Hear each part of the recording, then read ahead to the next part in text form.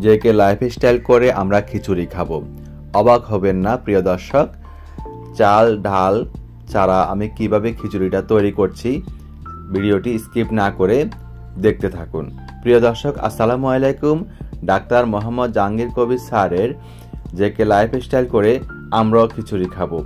আর সেটা আমি কীভাবে তৈরি করছি রেসিপিটি স্কিপ না করে পুরোপুরি দেখার অনুরোধ করছি। রেসিপিটি একটু লম্বা হতে পারে, ধৈর্য সহকারে দেখার অনুরোধ করছি, তৈরি করছি খিচুড়ি।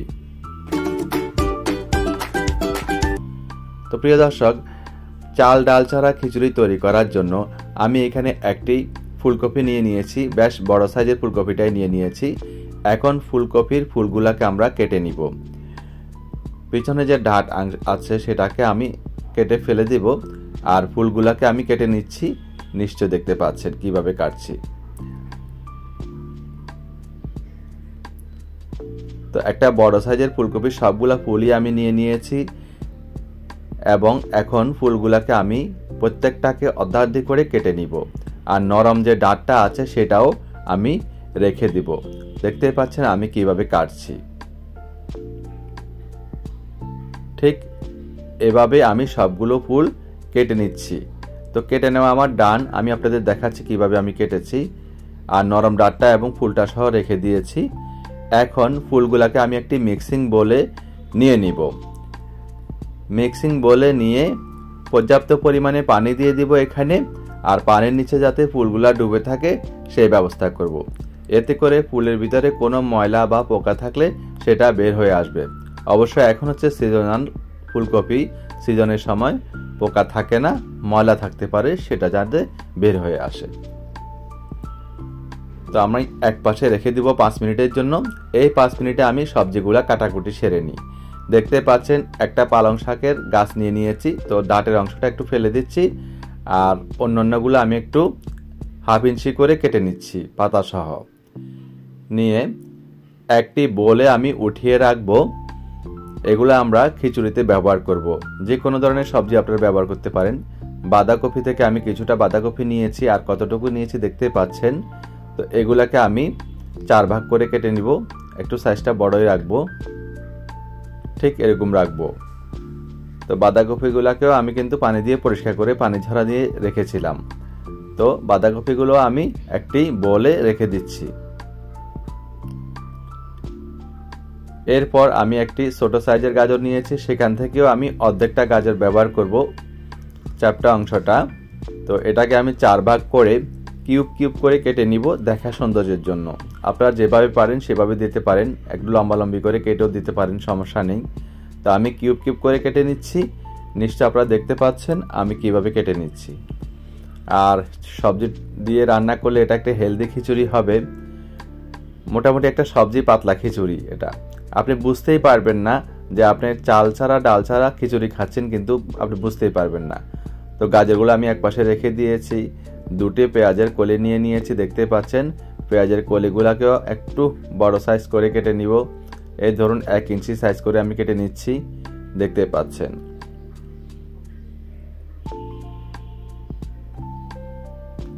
তো পেঁয়াজের কলিগুলো একটি বলে উঠিয়ে আমি এক পাশে রেখে দিব। এখন বড় সাইজের, বেশ বড় সাইজের একটি টমেটো নিয়েছি। টমেটোগুলোকে মাঝখান থেকে ফালি করে যে সাদা অংশটা আছে ভিতরের, এটা ফেলে দিব ফোম জাতীয়। ফেলে দিয়ে টমেটোগুলোকে আমি ফালি করে নিব। একেবারে কিউব করব না, ছোটও করব না। ফালি করে নিচ্ছি নিশ্চয় দেখতে পাচ্ছেন কীভাবে ফালি করে নিচ্ছি। মাছের সাথে আমরা যেভাবে আলু ব্যবহার করি, আমরা তো এখন খেতে পারি না আলু। তো যেভাবে আমাদের মা দাদিরা আলু ব্যবহার করে ঠিক সেভাবে কেটে নিব। এরপর দুটি মাঝারি সাইজের দেশি পেঁয়াজ নিয়েছি। পেঁয়াজগুলোকে আমি এখন চপড করে নিব, আই মিন কুচি করে নিব। নিশ্চয় প্রশ্ন করতে পারেন, কাটাকুটিতেই তো পাঁচ মিনিট, ছয় মিনিট চলে গেল রেসিপি কখন আমরা দেখব? তো কাটাকুটিগুলো না দেখালে আপনারা বুঝতে পারবেন না কোনটা কোন পরিমাণ আমি ব্যবহার করছি। তো পেঁয়াজগুলো কাটা আমার ডান, এখন দুটি রসুনের কোষ নিয়ে নিয়েছি আমি। রসুনের কোষগুলোকেও আমি দেখতে পাচ্ছেন, চপড করে নিচ্ছি। এটা একদম শেষের দিকে আমার লাগবে, রান্নার শেষের দিকে। তো এগুলাকে আমি একটি মিক্সিং বলে উঠিয়ে নিব। এরপর একটি ব্ল্যান্ডার নিয়ে নিয়েছি। ব্ল্যান্ডারের জগে আমি দেখতে পাচ্ছেন, এখানে আমি এক ইঞ্চ সাইজের এক টুকরো আদা নিয়েছি আর দুটি রসুনের কোষ নিয়েছি। এখন এগুলোকে একটু সামান্য ব্ল্যান্ডারের সুবিধার্থে সামান্য চপ করে নিব, বেশ বড় করেই। দেখুন। একটা রসুনকে চার ভাগ করে নিচ্ছি আর আদাটাকেও চপড করে নিয়েছি এবং ব্লেন্ডারে অ্যাড করে দিয়েছি। একটু পানি অ্যাড করে দিচ্ছি আমি। পাতলা হলে কোনো সমস্যা নেই। এই ফ্রেশ আদা রসুন ব্যবহার করলে টেস্টটা ভালো আসবে। মুখটা বন্ধ করে ব্ল্যান্ড করে নিয়ে আসছি, দেখতে পাচ্ছেন। ঠিক এরকমের হবে। এগুলাকে আমি রান্নার সুবিধাতে একটি বলে উঠিয়ে নিব বাটিতে। একটি বাটিতে ঢেলে নিয়েছি। এই ধরুন এক টেবিল চামচ পরিমাণ হবে এখানে। তো চুলায় চলে আসলাম সরাসরি। চুলায় একটা পাতিল বসিয়ে তাতে আমি ঘানিতে বাঙানো, কাঠের গানিতে বাঙানো সরিষার তেল অ্যাড করে দিচ্ছি। দুই টেবিল চামচ পরিমাণ। এর বেশি আমাদের তেল লাগবে না। খুব বেশি তেল এই ডায়েটে বা এই লাইফ স্টাইলে ব্যবহার করা যায় না। আর ডাক্তার মোহাম্মদ জাহাঙ্গীর কবির স্যার আমাদেরকে শিখিয়েছেন, আমাদের এটা হচ্ছে লাইফ স্টাইল তো আমি এখানে যে পেঁয়াজটা কুচি করেছি, সেখান থেকে অর্ধেকটা দিয়েছি আর অর্ধেকটা আমি রেখে দিয়েছি।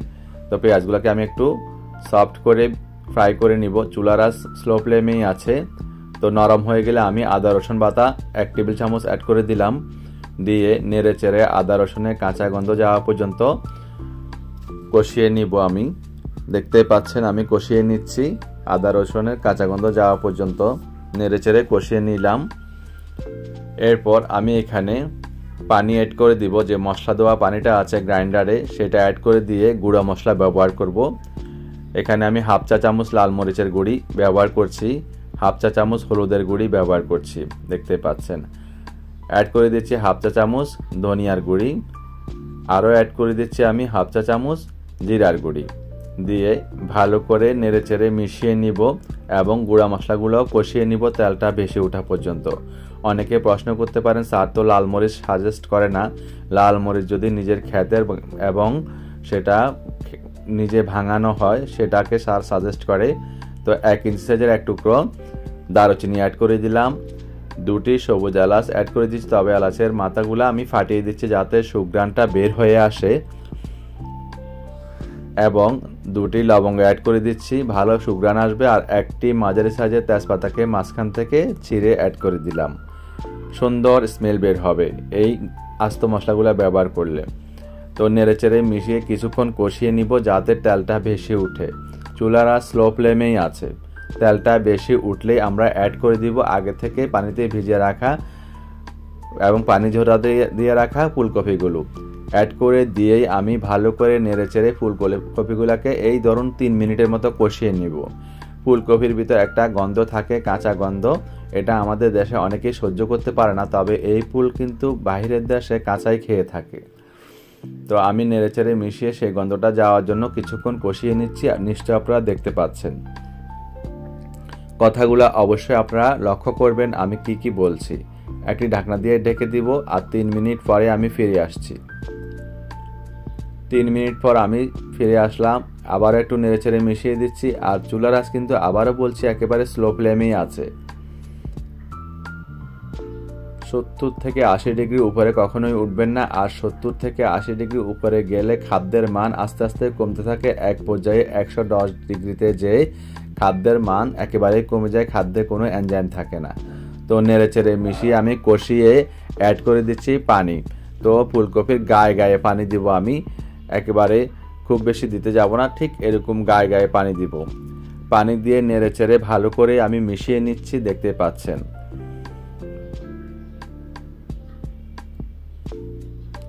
নেড়েচেড়ে মেশানো আমার ডান। এখন একটি ঢাকনা দিয়ে ডেকে ফুলকপিগুলা সিদ্ধ হওয়া পর্যন্ত স্লো ফ্লেমে আমি কুক করব। আর আমি চুলার আঁচটা আপনাদের দেখিয়ে দিচ্ছি, দেখুন একেবারে স্লো ফ্লেম, একবারে লো ফ্লেমই আছে। হাই ফ্লেম হচ্ছে দুই হাজার আর স্লো ফ্লেম হচ্ছে দুইশো। আমি প্রায় রেসিপিতে এটা দেখিয়ে থাকি যাতে আপনারা ভুলে না যান। তো ফুলকপিগুলো সিদ্ধ হওয়ার পরে আমি ফিরে আসছি। দেখতে পাচ্ছেন, ঢাকনাটা খুলছি আর পানিগুলো কমে গিয়েছে এবং ফুল, ফুলগুলো সিদ্ধ হয়ে গিয়েছে। টকবক করে ফুটছে। আমি একটি খুন্তির সাহায্যে নাড়াচাড়া দিচ্ছি, দিয়ে আমি আপনাদের দেখাবো ফুলগুলা সুন্দরভাবে সিদ্ধ হয়ে গিয়েছে। ডাটের অংশটাই দেখালাম।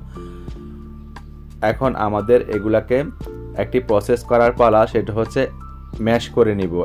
এরকম একটা ম্যাশ ম্যাশার থাকলে ম্যাশ করে নিবেন আর তা না হলে ঠান্ডা করে হাতের সাহায্যে যাদের কাছে নেই, ঠান্ডা করে হাত কিংবা চামচ আছে, যাদের স্টিলের চামচ বা মেলামাইনের চামচ, তারাও এভাবে ম্যাশ করে নেবেন। খুব ভালো করে। দেখতে পাচ্ছেন আমি কীরকম ম্যাশ করে নিয়েছি। আমি কিন্তু, এখন কিন্তু চুলার আঁচ একেবারেই বন্ধ। থিকনেসটা হবে ঠিক এরকম।